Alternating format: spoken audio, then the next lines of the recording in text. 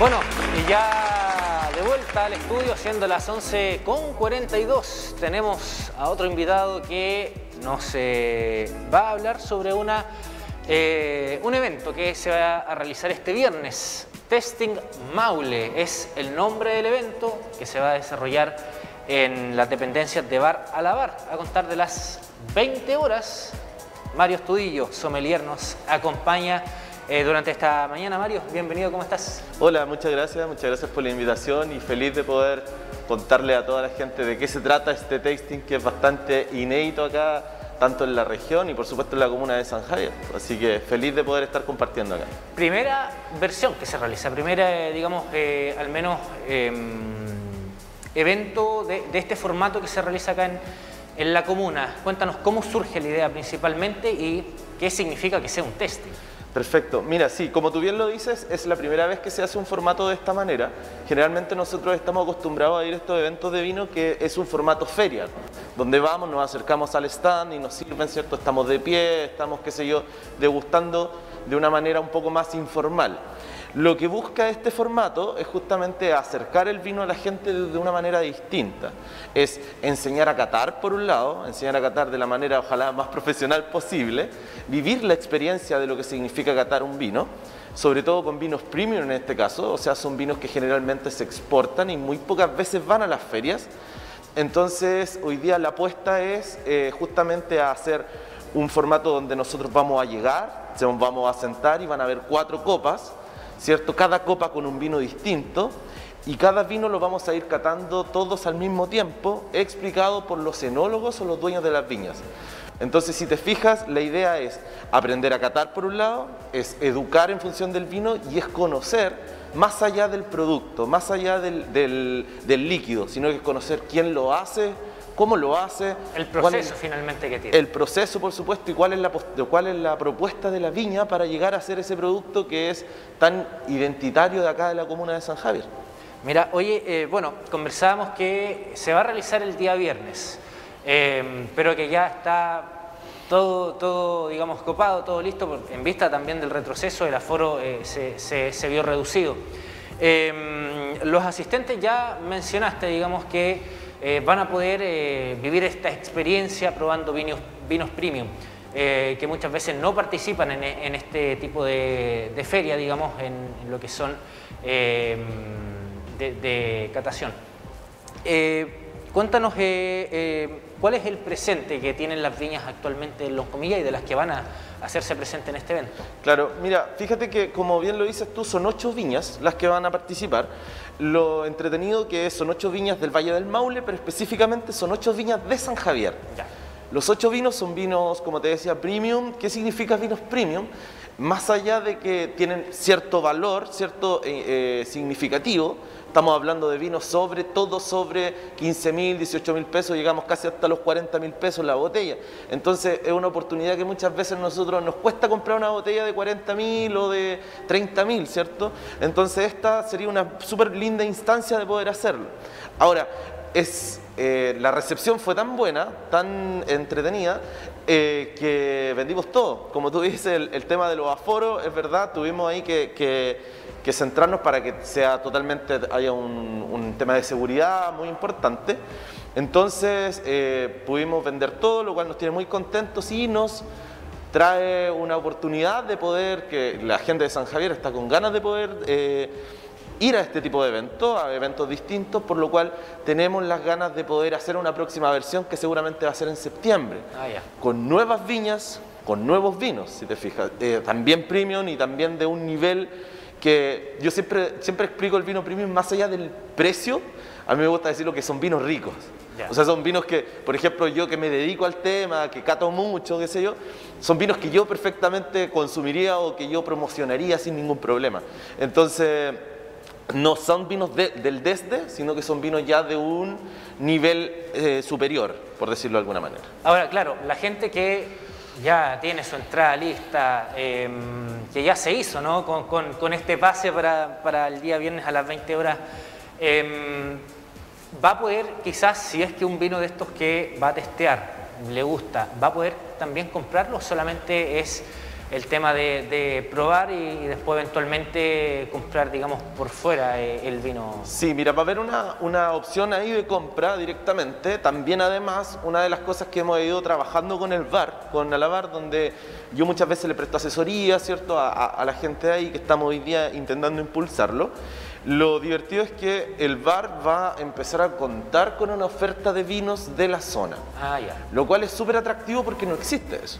Para potenciar justamente a, las empresas de, acá del sector. Exacto. Yo siempre soy, digo, pucha, mira, esta es la premisa. O sea, si viene alguien de afuera, ¿cierto? De turista, o, uno mismo cuando sale, por ejemplo, no sé, vamos a otro lado, vamos a Perú, por decirte algo. Nosotros no vamos a tomar Coca-Cola a Perú, queremos tomar un pisco sour peruano. Y ojalá del lugar de donde se hace el pisco sour. En este caso, de la premisa es eh, una consigna que es convertir a San Javier en la capital del vino. Y eso nos ha permitido vincularnos a nivel público-privado, acá hay un patrocinio a nivel municipal, lo cual ellos cierto nos facilitaron las copas, y hoy día también estoy trabajando con una asesoría a nivel municipal, lo cual me tiene súper contento porque todas las actividades en función del vino Vamos a intentar darle un, giro, ¿cierto? Para, hacer actividades nuevas como esta, por ejemplo, a nivel de ese tipo. Y por otro lado, vamos a poder eh, tener estos puntos de venta que los vamos a empezar a activar. A la va a ser uno, tenemos la idea de, de ir potenciando otro. Pero eso es justamente, o sea, creemos que San Javier puede ser la capital del vino y por otro lado creemos que San Javier merece conocer sus productos. ¿Capital del vino pensado a nivel regional o, ya a lo grande nacional? No, pensado a nivel nacional. Tenemos que caminar mucho, pero creemos que, fíjate que hay un dato que es fundamental. San Javier como comuna es la comuna que concentra la mayor cantidad de superficie de vides plantadas en Chile. Por ende, es como comuna la comuna que tiene la mayor cantidad de producción de vinos. O sea, ya somos número uno en eso. Si a eso le sumamos que tenemos la mayor cantidad también de cepa país plantada acá, ya tenemos tres cosas que son únicas en el territorio. O sea, el insumo ya lo tenemos.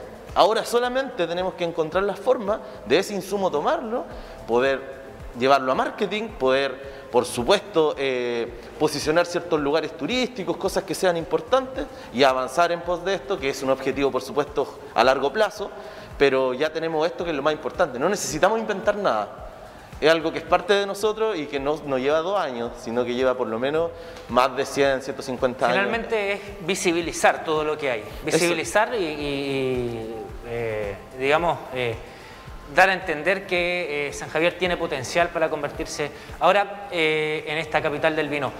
¿Qué otro tipo de, mm, de, de acciones o programas se, ha llevado, digamos, a, cabo o, desde el mundo público-privado para eh, impulsar estas iniciativas. Hace un tiempo y, tuvimos la posibilidad de, transmitirlo y tuvo muy buena recepción por parte de los televidentes el programa eh, por las rutas del vino, donde igual, eh, bueno, tú eras uno de los conductores, ibas conociendo las viñas, el proceso de los distintos vinos. ¿Cuáles han sido finalmente todos estos programas, proyectos, eh, para ir dando a conocer eh, San Javier al mundo en este caso. Sí, mira, fíjate que hoy día está pasando algo bien interesante, que hoy día el, acercamiento público-privado está mucho más, mucho más fuerte, por lo cual este acercamiento nos hace que eh, podamos pensar en grande. Eso, esa es la idea. desde el punto de vista, yo tengo la, suerte de poder en estos momentos tener una patita acá y una patita acá, de referencia a esto. Uno, un tema de asesorando al sector privado y también asesorando al sector público. Entonces, este engranaje nos permite poder avanzar en esto. Mira, ¿qué acciones se vienen? Se viene una calendarización de acciones. La idea es que todos los meses tengamos actividades distintas. Si te fijas ahora, el 4 de septiembre es el Día Nacional del Vino. Nosotros siempre, nosotros tanto desde la ruta del Valle del Maule, ¿cierto? el sector privado, tanto como el sector público, se junta y arma esta fiesta. Lamentablemente este año, el 4 de septiembre, bueno, lamentablemente para la fiesta, ¿cierto? Eh, eh, son, las votaciones. Entonces no vamos a poder hacerlas el día domingo. muchas veces hay ley seca. Exactamente. Entonces está medio complicado eh, poder avanzar en eso.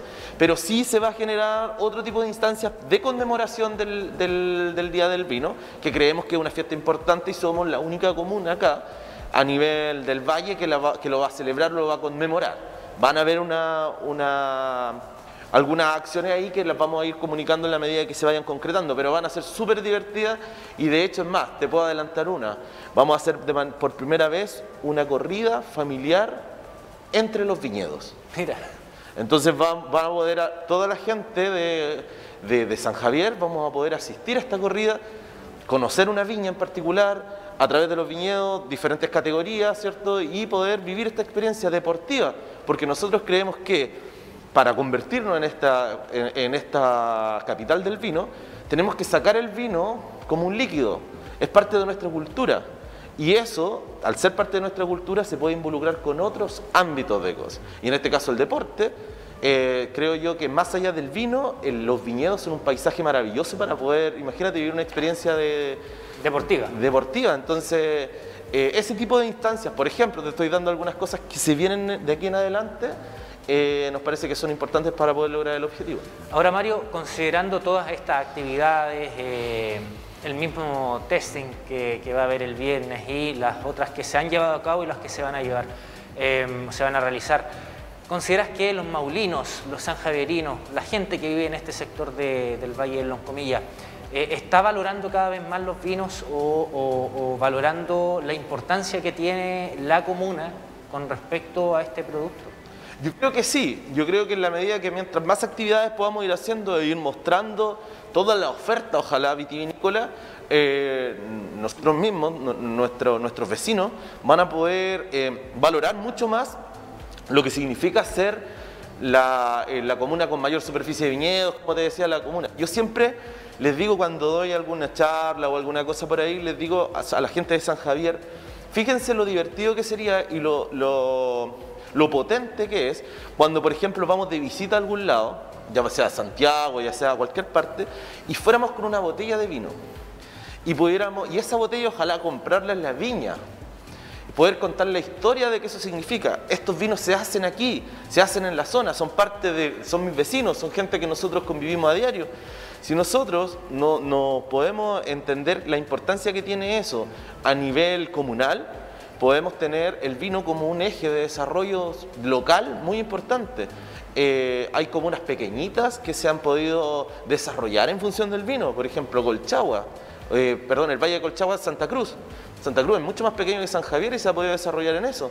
Y eso va de la mano con que nuestros vecinos puedan creer en esto, creer que es importante el vino. Finalmente creerse el cuento también de, la tradición que existe con relación al vino. Por supuesto, y yo siempre digo, ser embajadores de nuestro territorio, ser embajadores de lo que tenemos, no necesitamos inventar nada, sino que lo contrario, es como tú bien lo dices, es poner en valor lo que tenemos. Y, poner en valor significa reconocer, ir a conocer los productos, los productores, ya sea desde un productor grande a un productor chico que en la zona conviven. Y eso es maravilloso. Tenemos productores de pipeño increíbles, así como tenemos vinos de exportación increíbles. Entonces, esa conjunción de cosas, si nosotros nos podemos dar el valor que significa, podemos, no, no tenemos límite donde llegar. Entonces, la invitación desde ya es justamente a que la gente pueda conocer los productos, pueda interesarse por estas actividades que se están haciendo, si bien esta fue reducida, pero era un formato distinto.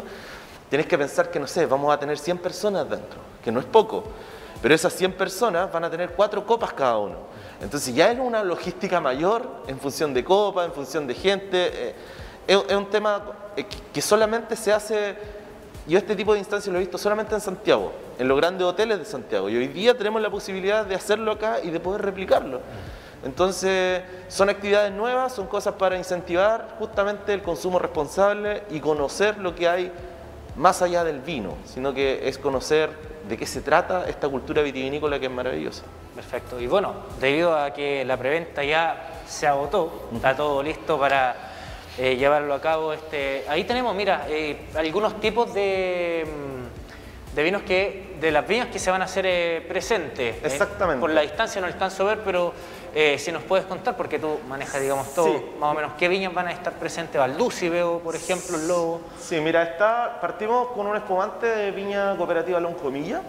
Después vamos con, eh, que es el lobo, de una cepa blanca, que es la cepa blanco boide, que es única en Chile. Solamente ellos hacen ese espumante. Después vamos con viña buchón, que ellos eh, van a sacar este semillón, vamos a mostrar este semillón de, que se llama granito. Este es un semillón que en algún momento ganó el mejor vino blanco de Chile y en algún momento ganó unos premios internacionales increíbles. O sea, es un gran vino que da la posibilidad de poder probarlo. Después vamos con Viña Longaví Wines, que es de acá de la zona, solamente que le pusieron este nombre por el tema de los viñedos, qué sé yo.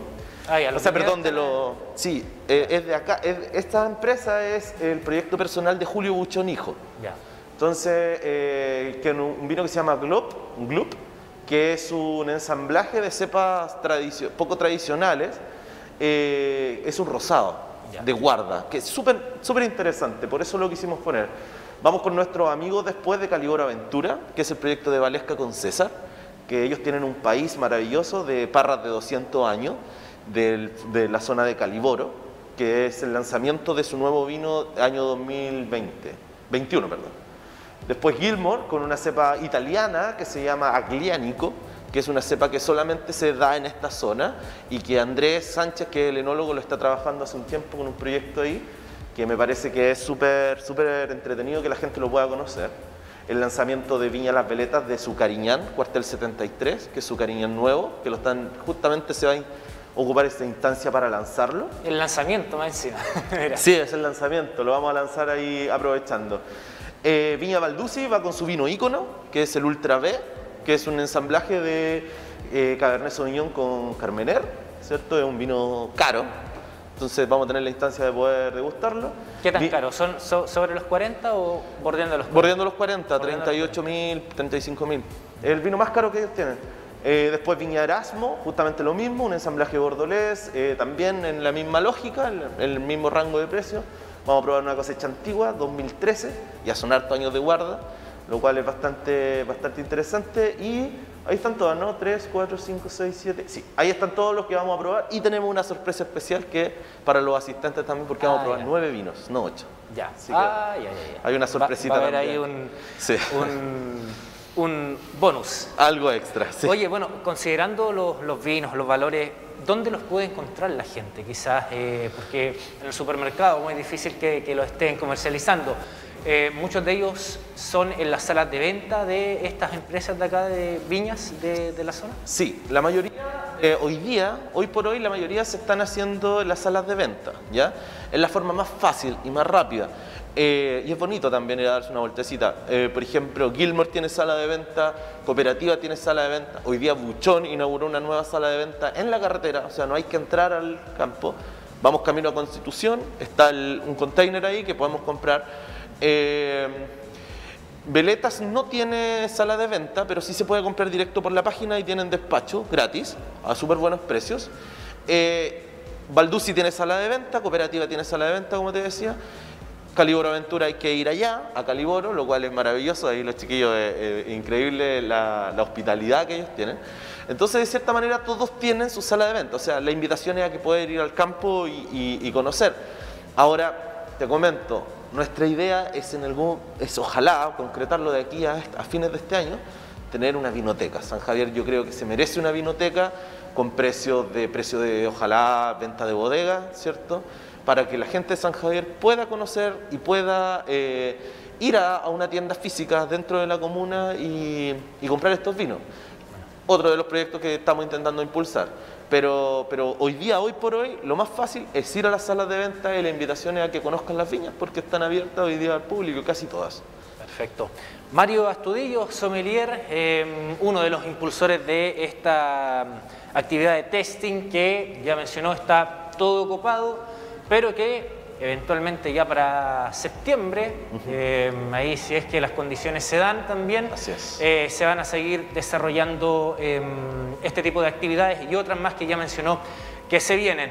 Así que muchas gracias por habernos acompañado en este bloque de Más Positivo. Sí, no, muchas gracias a ti y la invitación es a que la gente nos pueda seguir en las redes, arroba Valle del Maule, a la red, mis redes personales, arroba mario.som y en las redes de la municipalidad que hoy día también estamos, como te decía, en esto, Con la alianza. en la alianza público-privada, lo cual nos permite eh, tener un mayor impacto a nivel mediático y muchas gracias sobre todo al canal por siempre dar- brindarnos el espacio de poder publicitar estas cosas. Perfecto, adelante Mario. Eh, está siempre abierta esta, esta casa televisiva.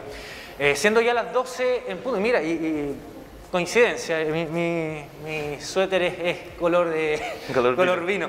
Eh, estamos terminando ya este más positivo de día miércoles. Queremos...